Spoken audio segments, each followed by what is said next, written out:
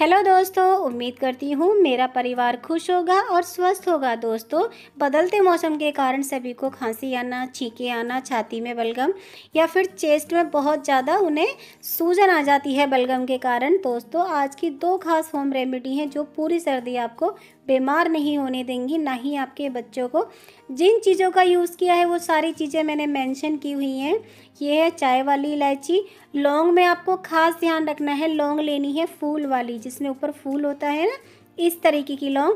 यह है काली मिर्च साबुत मसाले वाली इलायची है। यह है पिपली या जिसे पीपल भी बोलते हैं वो है दालचीनी का टुकड़ा। जो दालचीनी होती, पाउडर होता आप उसका भी यूज़ कर सकते हैं। यह है हल्दी पाउडर। दोस्तों, अब हमें करना क्या है, गैस की फ्लेम को ऑन करके उसके ऊपर एक पैन रखना है। इसमें डालना है दो गिलास पानी। क्योंकि दो व्यक्तियों के लिए बना रही हूँ तो दो गिलास पानी डालने वो हल्दी डाल दी है आधा चम्मच। तुलसी के पत्ते साबुत डाल दिए हैं, तोड़े या कूटे नहीं है मैंने। अब जो सामान था उसमें से थोड़ा सा ले रही हूँ काली मिर्च, आठ से दस।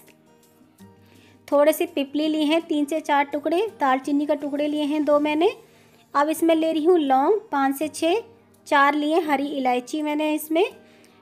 दो लिए मसाले वाली इलायची। यह है छोटा सा टुकड़ा जो जिंजर होता है या सूखी सौंठ होती है एक टुकड़ा लिया है मैंने मुलेठी का।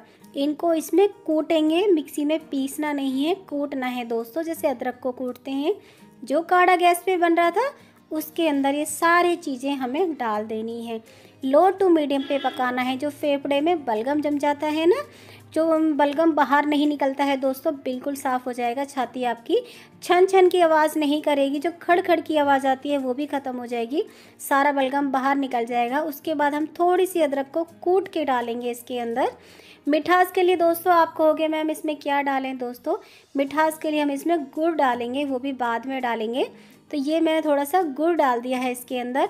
गले में टाउनसिल पक जाते हैं ना, उनमें पस पड़ जाता है। इन्फेक्शन ख़त्म हो जाएगा।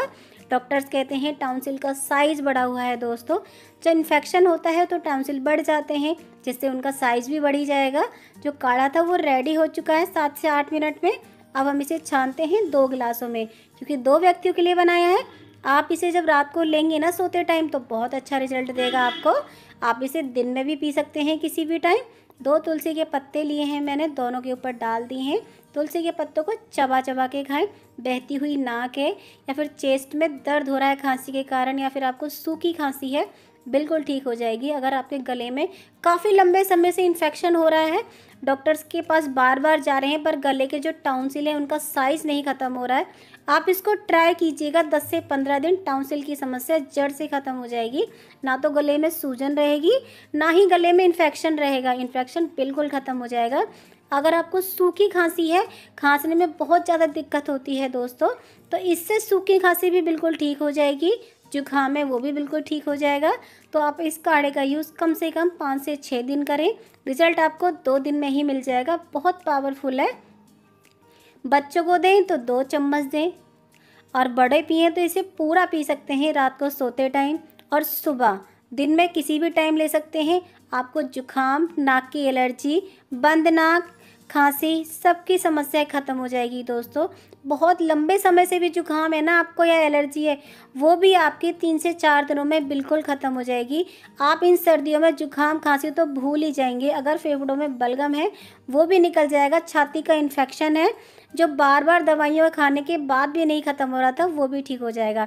दूसरी होम रेमेडी है दोस्तों, वो भी बहुत पावरफुल है, वो खास बनाई है जुकाम और खांसी के लिए। जिनके छाती में बहुत ज़्यादा बलगम है या सांस फूलती है, जो हमारे बड़े बुज़ुर्ग लोग होते हैं, उनकी छाती में काफ़ी कफ है ना, वो फेफड़ों में जमने लगता है। जैसे कि टीवी की शिकायत हो जाती है कभी कभी डॉक्टर्स बोल देते हैं दोस्तों, इस रेमेडी को आप उनको कम से कम ट्वेंटी फाइव डेज़ दीजिएगा।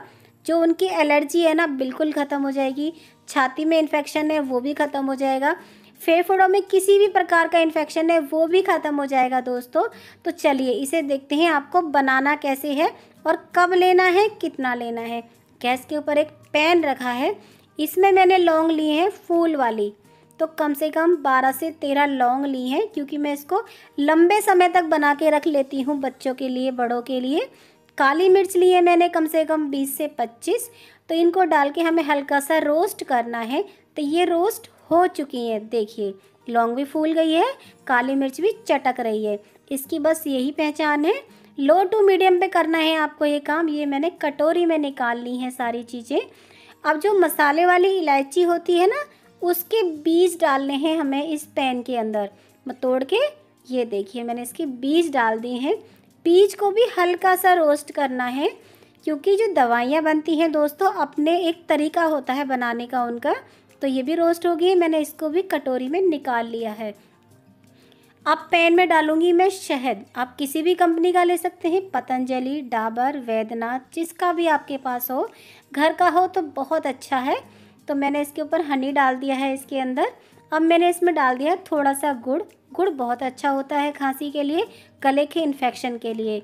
तो हमें धीरे धीरे इस गुड़ को मेल्ट करना है। अब मैं इसमें डाल रही हूँ दालचीनी का पाउडर साबुत दालचीनी नहीं डाली है दोस्तों, मैंने इसमें पाउडर डाला है डेढ़ चम्मच। नमक डाला है मैंने, आधा चम्मच इसमें काला। अब यह है जिंजर पाउडर या सौंठ का पाउडर इसे बोलते हैं।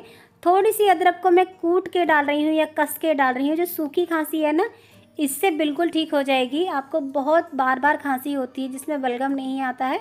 बहुत प्रॉब्लम होती है। जो अदरक कूटी थी ना, हमें इसको मतलब इस चलनी के अंदर छानना है, सिर्फ़ हमें इसका रस चाहिए। अदरक का जो गूदा होता है, वो नहीं चाहिए। सिर्फ़ इसका रस लेना है हमें दबा दबा के, इस तरीके से। जो रस था, वो इसमें आ गया है, जिससे गले का इन्फेक्शन खांसी या बार बार खांसी आती है खांसते खांसते उल्टी भी आ जाती है। कई लोगों को बहुत भयंकर खांसी होती है दोस्तों, कि खांसते खांसते भी ना बच्चे उल्टी कर देते हैं। बच्चों को टाइम से टाइम दीजिएगा, जैसे दवाइयाँ देती हैं ना दिन में तीन बार क्वांटिटी बताऊँगी कितनी देनी है। बच्चों की खांसी भी ख़त्म हो जाएगी, जुकाम भी ख़त्म हो जाएगा। जो लौंग, काली मिर्ची हमने भुनी थी, इलायची, उनको कूटना है हमें इसमें। इस तरीके से कूट के पाउडर बन जाएगा इसका, तीनों चीज़ों का। इसे हम डाल देंगे उसके अंदर। इससे गले के जो टाउनसिल में पस पड़ गई थी, बिल्कुल ठीक हो जाएगी। तो ये कूट चुका है और मैंने इसके अंदर इसे डाल दिया है। लो टू मीडियम पे दोस्तों ये दवाई बनानी है, आप इसे बना के रख लीजिए, जो छाती में इन्फेक्शन है, जो या डॉक्टर्स ने बोल दिया है टीवी हो चुकी है टीवी की शिकायत हो चुकी है, फेफड़ों में बहुत ज़्यादा बलगम जम चुका है, बिल्कुल साफ़ हो जाएँगे, पर इसको आप दवाई की तरह लीजिएगा, जैसे दवाई लेते हैं ना, दिन में तीन बार, सुबह, दोपहर, शाम, ऐसे ही आपको लेनी है। इसके साथ आपको कोई भी ठंडी चीज़ नहीं खानी है, तभी आपका गले का इन्फेक्शन ख़त्म होगा दोस्तों, या फिर आपको लस्सी दही, चावल, उड़द की दाल, इन चीज़ों का सेवन नहीं करना है। जब तक कि आप बिल्कुल ठीक ना हो जाओ, मैं बताती हूँ कितना लेना है।